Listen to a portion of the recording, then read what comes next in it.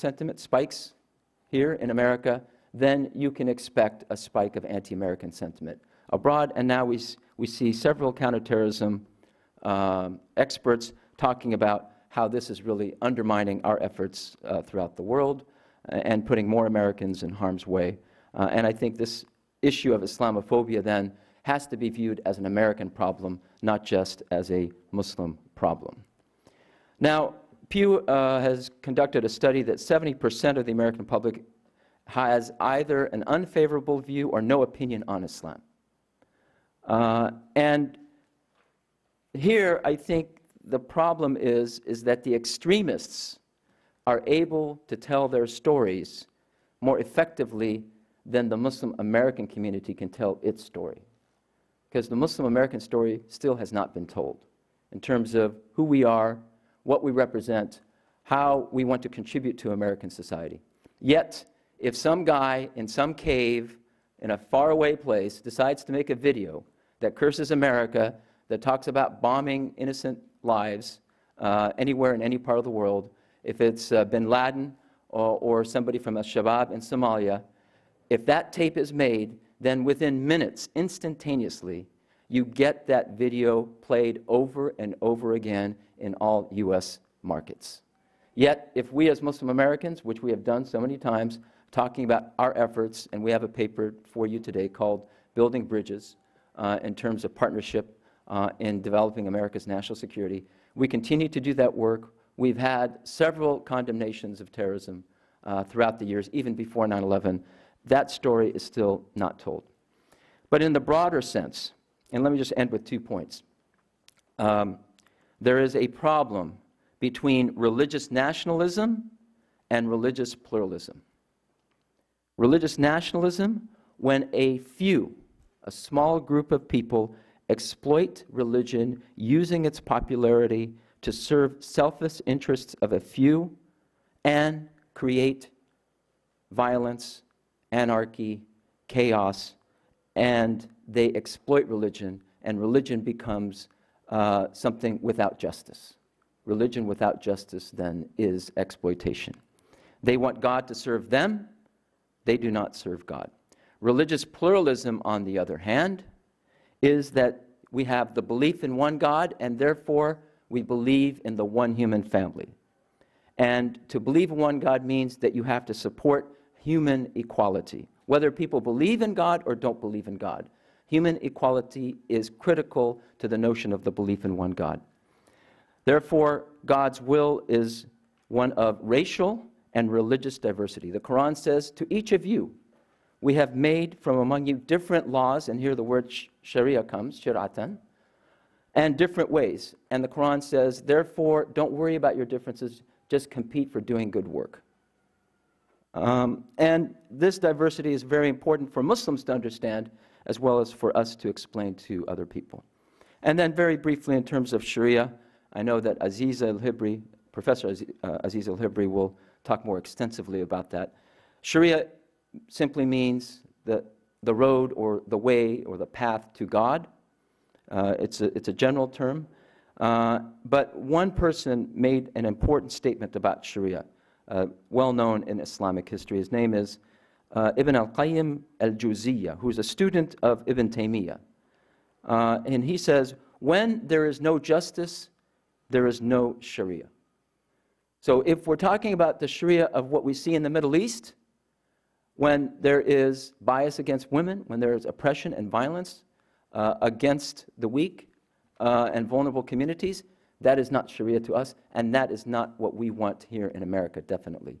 We will be first to, to stand up in opposition to that kind of exploitation of Islam. And another great scholar says, where there is no security, there's no Islam. Where there is security, that is where Islam is. And therefore, America to us is the best place for Muslims, and we will work to preserve our constitutional rights for all Americans. Thank you very much.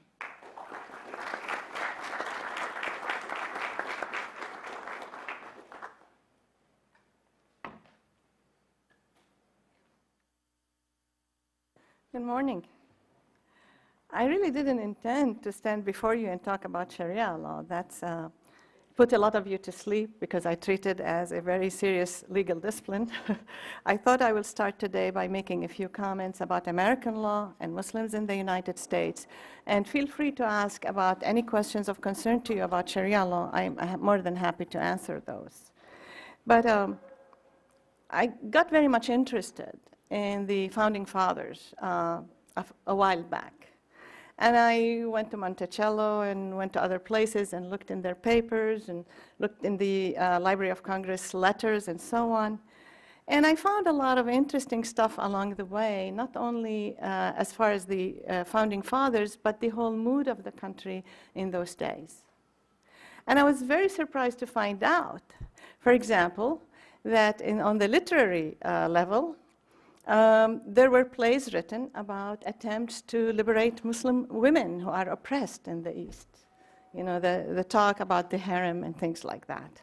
Uh, I found out that there were all sorts of suspicions expressed about Muslims. Um, I also found out, by the way, that there was an attempt at regime change by the United States in Tripoli, North Africa, in the 18th century. Um, I found out that there were writings that Jefferson was aware of, uh, which called Islam a false religion and the prophet an impostor. A lot of this had happened for a while. It didn't just happen yesterday. And I think it's time that we take a deep breath and talk to each other as co-citizens and ask ourselves, how are we going to relate to each other? And what's the foundation of this historical misunderstanding? I do not want us to uh, push anything under the rug. Let's have an honest and healthy discussion in a country which believes in uh, the process of law, in the, a country of laws and a country of due process. This is what protects all of us. It's not just about an Islamic minority or a Muslim minority. It's about all minorities, and it's also about the conscience of the majority. Another big shock that I developed as I was reading uh, the history of this country, I walked along up the campus of my university to the Historical Baptist Society, and lo and behold, I found out that their leaders, in their own time, suffered quite a bit. And in fact, this, they're not the only uh, group that have suffered. Jews, Catholics, and I can name a lot of other minorities that have had it difficult getting stabilized in this country. So I guess you know, we all go through this. But hopefully, as we mature in terms of our understanding of our Constitution, the process will become more dignified and, and less painful. So I want Muslims in this country to understand, in some way, they're not singled out. Everybody else had to go through this one way or the other. The other thing is, and I'm talking to Muslims as well, is that thankfully the founding fathers had introduced, uh, through the insistence of a lot of religious groups who were Christian, uh, and atheist, by the way, and uh, uh other religions, the First Amendment which has its origin in the Bill of Rights of Virginia, and I'm happy to say that since I teach in Virginia, and I'm very proud of that fact. So, uh, what I'm asking for is a double, a double uh, request. One is reassert our commitment to the First Amendment. Throughout history, it has shown that it is a very valuable part of what the U.S. is about. And in fact, I think this is one of the major attractions of the U.S. to immigrants who leave their countries. They love their countries and leave them because they truly believe that in this country they can have a free and dignified being that they have missed elsewhere. The Supreme Court throughout the years has again elaborated and emphasized the basic principles of the First Amendment. For example, in Lynch versus Donnelly, um, Chief uh, Justice Rehnquist emphasizes that political divisiveness, divisiveness alone, he stated, cannot serve to invalidate otherwise permissible conduct. So whatever we might feel about the person sitting next to us, they have rights. Even if we politically disagree, that's no reason to behave uh, in a way that would infringe on those rights. And furthermore, uh, the First Amendment uh, states, well, it doesn't state, but implies that the legislative powers of the government could reach actions only and not opinions. And so it's wonderful that we could all sit here, and I'm sure we, some of us will disagree on certain aspects of the discussion, but we are protected by the First Amendment in doing that. Um,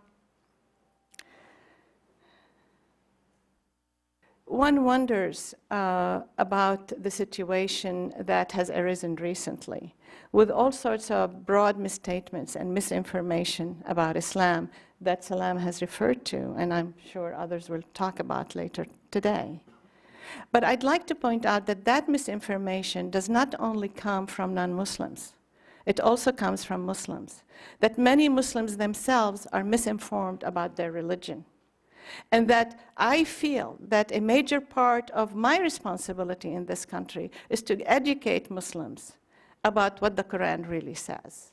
For example, since I'm a woman and I'm committed to women's issues and women's dignity and, liber and liberation, I, uh, we at my organization, Karama, run classes in which we teach Muslim women and hopefully in the future men about the rights that are guaranteed to them by their own religion.